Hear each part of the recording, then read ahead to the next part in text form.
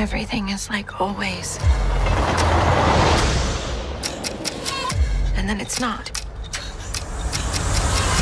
Things are not how I left them. They're not how they're supposed to be. Because after what he did, everything changed.